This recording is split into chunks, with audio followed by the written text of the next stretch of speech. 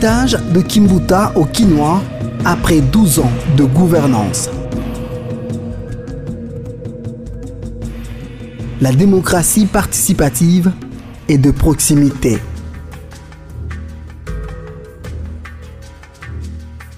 Le 20 mars 2007, André Kimbuta Yongo, fraîchement élu gouverneur de la ville de Kinshasa par les députés provinciaux, prend officiellement possession de son pouvoir à travers une cérémonie de remise et reprise avec son prédécesseur, l'amiral Liwanga.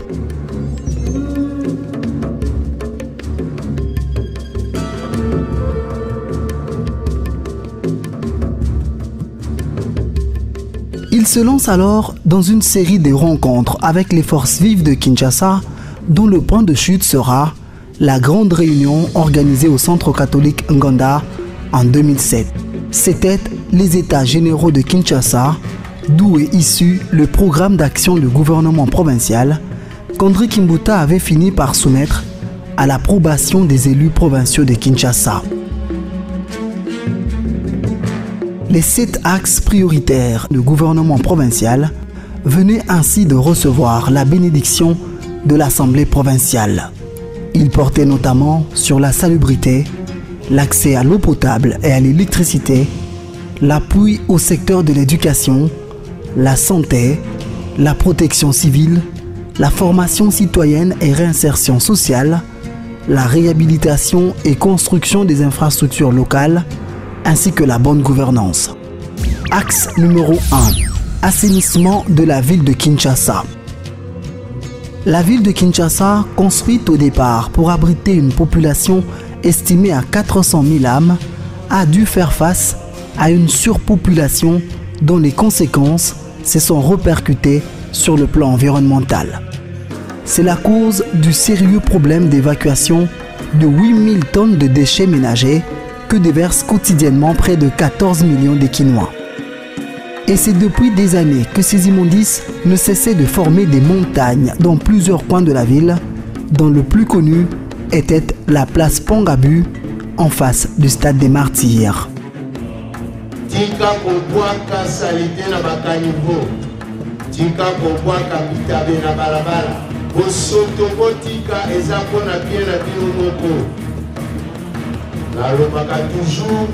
la propriété la saleté dure bokoti yango na mitu na bino na mitema na bino kinshasa ezali yo ye na ngai.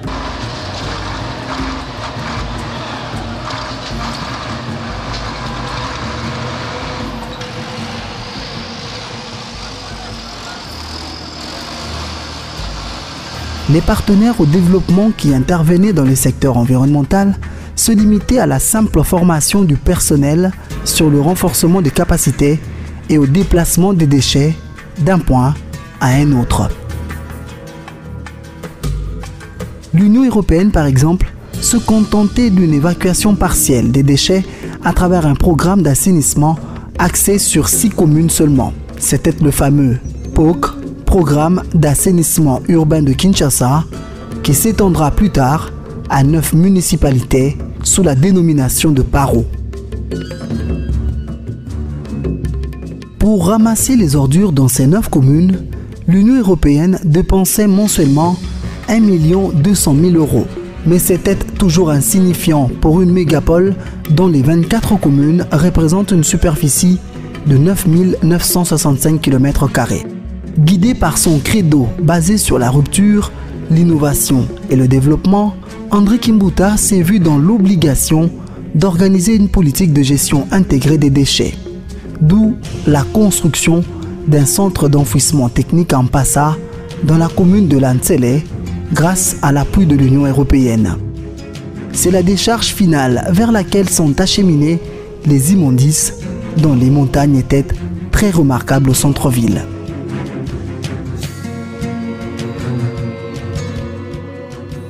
Pour pérenniser cette nouvelle politique de gestion intégrée des déchets, il a fallu créer un service urbain chargé de la salubrité.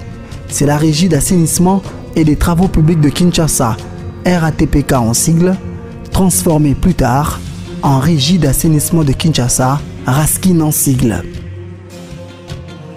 Animé par le souci de bien faire fonctionner ce service, André Kimbuta décide alors de mettre en place une brigade de salubrité. Des cantonniers sont recrutés dans le but de travailler chaque jour pour rendre la ville propre. La gestion des immondices jetés ça et là à travers la capitale s'est rationalisée à travers les 500 000 poubelles publiques distribuées dans toutes les communes. Des camions bennes, caterpillars, pelles chargeuses, tracteurs ainsi que des camions de ramassage des ordures se sont ajoutés aux engins qui existaient déjà en vue de faciliter la tâche à la brigade d'assainissement. Axe numéro 2. Accès à l'eau potable et à l'électricité. Le secteur de l'électricité faisait également partie des préoccupations d'André Kimbuta. En dehors des grands projets lancés par le pouvoir central, l'ancienne autorité urbaine a initié une opération d'éclairage public. Plusieurs artères de la ville, comme la chaussée de Kimwenza, le boulevard Lumumba, l'avenue des Huileries, des poids lourds, l'avenue Maïnga dans le quartier Konduka et Bypass seront éclairés. En tout cas pa ndeki mbuta. Bakopika batika yo. Nalekaka chaque jour. Awa lelo nde namo lumière. oyo makasi vraimen biso seri tozokola totikalaka komona éclairage public te. Tosepeli sikoyo ndenge toye komona yango aza masisa bidimbu mai ya sonoepui mobutu toende na ntango ya kabila tomoni éclairageezala courant lelo epembeli na pompage. Yeba te courant kopela pompage etala malweka mbudi magasin. Mbudi okende tutu ati magasin. Olele ta camion mino eza te chauffeur kobanga te. Nayebisi bino na pompage vedi mapata nde ekoyi awa donc moyen te minda partout depuis pompage ti magasin. Lere nayebisaka bino ke kabila aza grand prêtre. Otiaka tembe. Lelo ovivre yango tinga nazalaka kinshasa. Namona na nga nanu te kinsuka pompage na minda totiaki minda banda laurent désiré kabila ntina pompage. Onzinganzinga ya fleuve ti pompage ezala nanu te. Soki moninga akosala ata mwa kindoki yango ndimela kanda Une trentaine de transformateurs électriques donnés à la Société nationale d'électricité pour renforcer sa capacité de fourniture en énergie électrique. Intervention similaire pour l'accès à l'eau potable, un des problèmes majeurs auxquels la population quinoise est confrontée.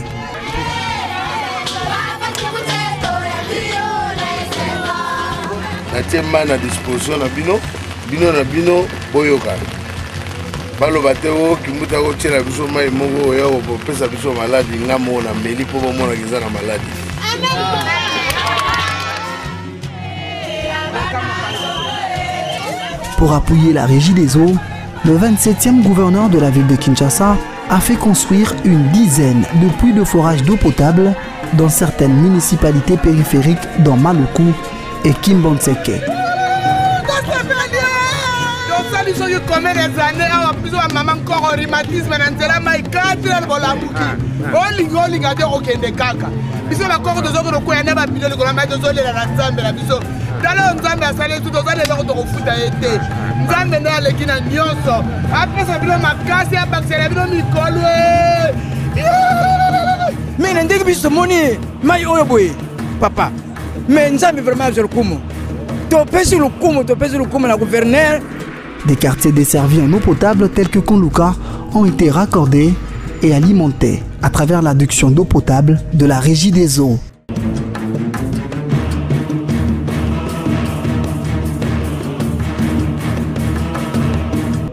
Axe numéro 3. Appui au secteur de l'éducation.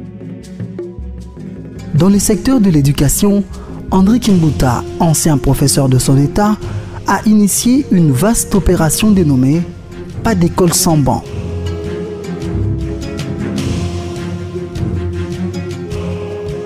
Le spectacle désolant des enfants, suivant le cours à même le sol, m'inspira et me conforta dans le lancement de l'opération Pas d'école sans banc.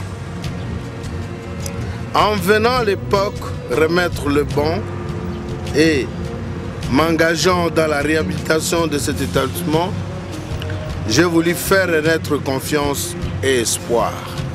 Des milliers de bons pupitres ont été distribués gratuitement dans plusieurs écoles de Kinshasa. Et l'opération s'est étendue à plusieurs autres établissements d'enseignement public de la capitale. Certains, dont les bâtiments étaient en état de délabrement très avancé, ont été complètement réhabilités. Cas de l'Institut Boigna, où Kimbuta a lancé sa campagne pour le gouvernorat. L'Institut Kimbangiste de Kimbonseke et l'Institut technique commercial ITC de Ngaliema. Le lycée Bossangani, dont la douzaine de locaux avaient été incendiés, a coûté un peu plus de 1 million de dollars américains à l'hôtel de ville de Kinshasa. Des nouveaux établissements scolaires ont également été construits dans plusieurs communes, notamment à Kisenso, Kimbonseke et Ntsele. L'Institut Boigna, devenu École Kimbuta, a été complètement reconstruit et modernisé, puis doté d'un laboratoire informatique et une grande bibliothèque, ainsi qu'un terrain de basket et de football pour les élèves.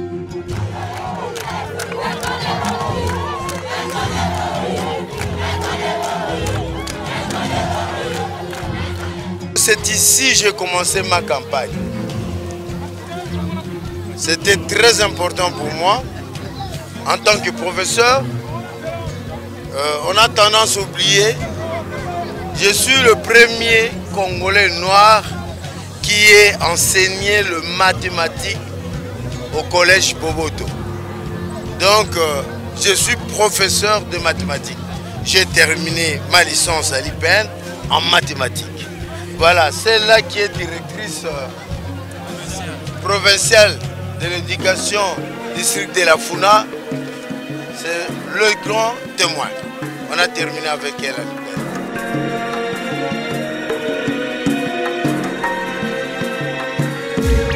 Axe numéro 4. Appui au secteur de la santé.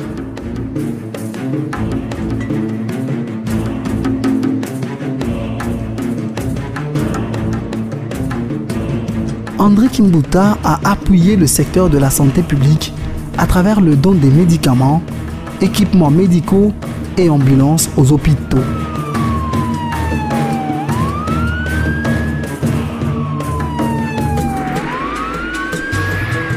Notamment l'hôpital général de référence de Kinshasa, ex-Mama Yemo, l'hôpital Biamba Marie Mutombo Dikembe et celui que les Chinois ont construit à Njili.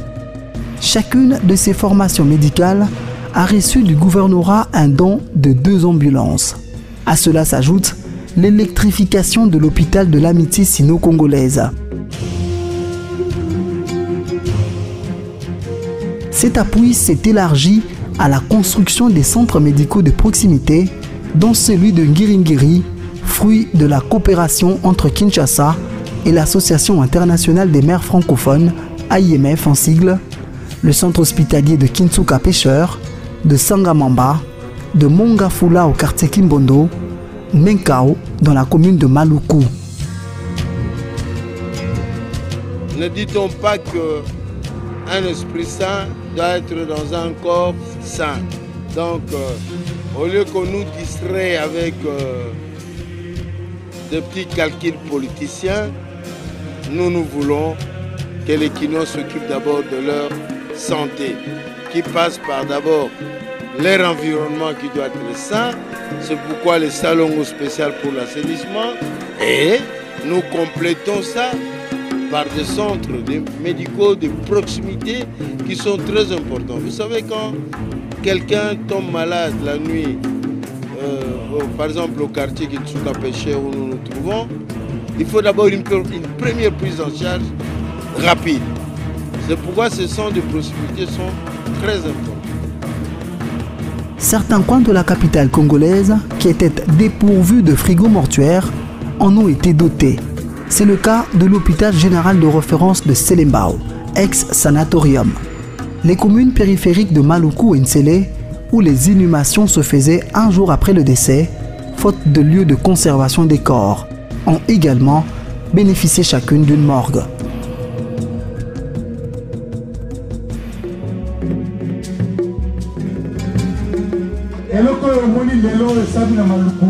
Nano esalama te eloko etikali de génération à génération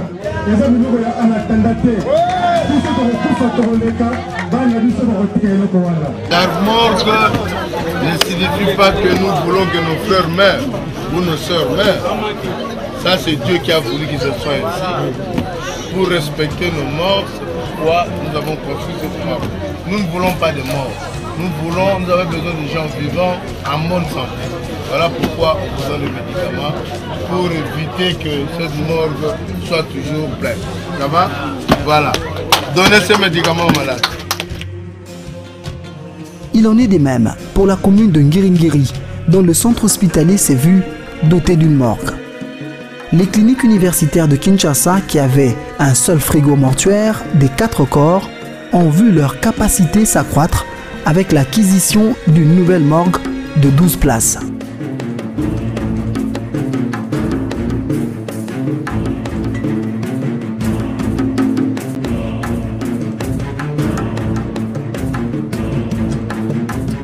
La maternité de Kintambo aussi a bénéficié des interventions de Kimbuta avec la construction d'une morgue et une salle de soins d'urgence. Asalisa diligence wana mpe lelo eza impeccable. Population moto akobénéficie nango donc par rapport a wana moto ya malamu bayebaki na misala bayebaki na maloba te ntango asalisi salle d'urgence ya, ya, hôpital ya kitambo. Tozalaka wana na mwana na biso cadette na biso tozalaki wana towumbelaki epuis toyaki na difficulté mpo tobima. Mais le jour papa koti aye mpo awa ainaugure yango tobima wana gratuitement. Donc eloko wana mpena ti lelo emarka ngai na tala na bino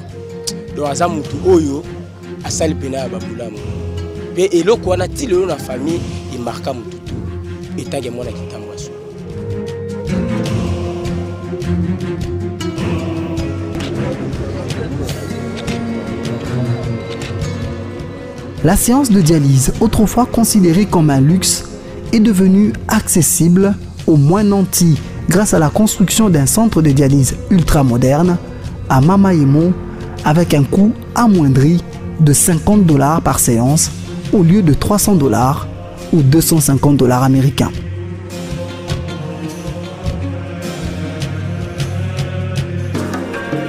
Si euh, on avait vraiment donné les moyens à Kibuta, les miracles seraient opérés. Vous voyez avec les moyens de bord comment on fait?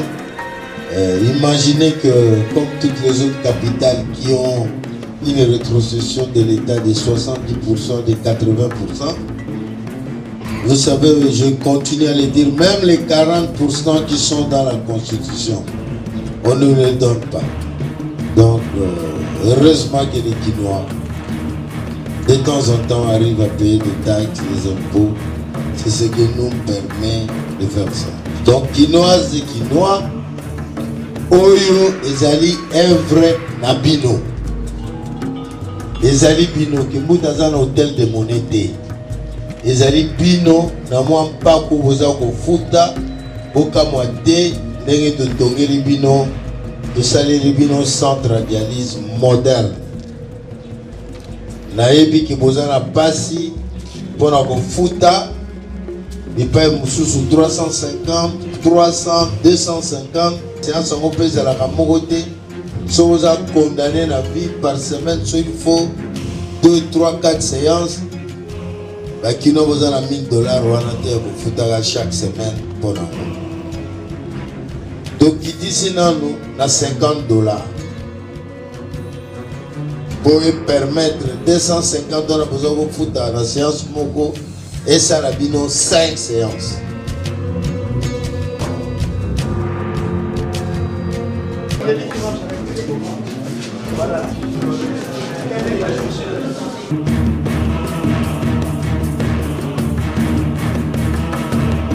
Axe numéro 5. La protection civile. Jusqu'à l'avènement du gouverneur Kimbuta à la tête de la ville de Kinshasa, la capitale de la RDC n'avait presque pas de véhicules anti-incendie et le corps de sapeurs-pompiers n'y existait pas. Il s'est investi pour la mise en place d'un service des sapeurs-pompiers doté de véhicules modernes, de lutte anti-incendie et un quartier général des sapeurs-pompiers à Pricor, à proximité de l'aérodrome de Ndolo.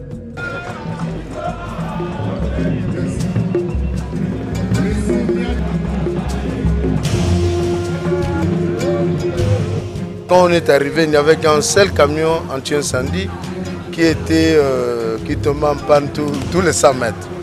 On a fait des efforts, nous en avons 18 pour le moment. L'objectif était d'atteindre 20 camions dans un premier temps. Mais sur sa fait de route, nous avons 48, à moyenne de 2 camions par commune, puisqu'il en a 24. Mais là, nous sommes à 20, nous sommes encore loin de la réalité, mais de 1 à 20 pièces, c'est déjà un effort. Tout ça en fonds propres. Et là, vous avez un équipement complet, alors complet. Bottes, tennis, casque, il y a même de masques. Donc c'est vraiment euh, ce qu'il faut donner aux policiers de feu pour qu'ils interviennent. Quelques pays ont aidé le gouvernement provincial dans l'acquisition de ces véhicules. C'est notamment la Grèce et le Japon à travers la JICA, agence japonaise de coopération internationale.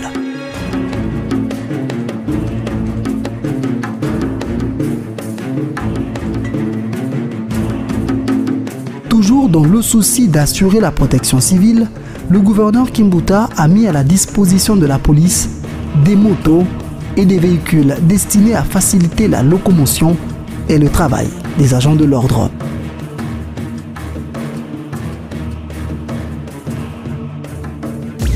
Axe numéro 6. La formation citoyenne et réinsertion sociale.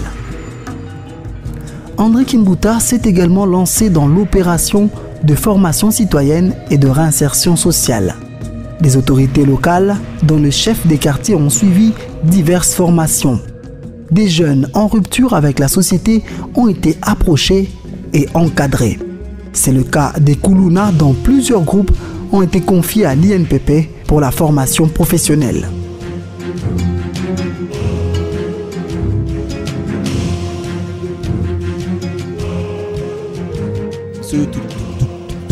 parmi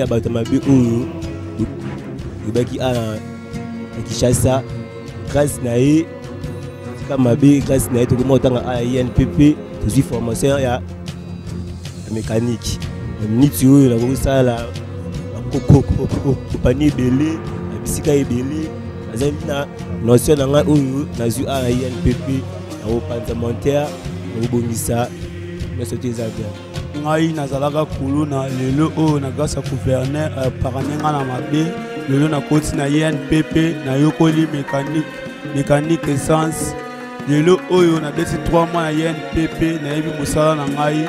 Lelo naza finaliste bamasa oyo batikali bolanda biso tozwi opportunité ya bien lelo oyo. Toeparane na mabe wana tolandi métier métier eza venir alobi lobilobi un jour toza mibali tozobota toza mpe na famille. Famille mpe un jour mpe baliaka mbongo na yo. Na formation bozwi bozala na biso na babalabala oyo bino bozali na bakartier oyo bino bozali na bacommune bopanza sango ya paix. Bobenga bajeune baya sacrifice monene. Bakinois oyo baza kofuta mpaku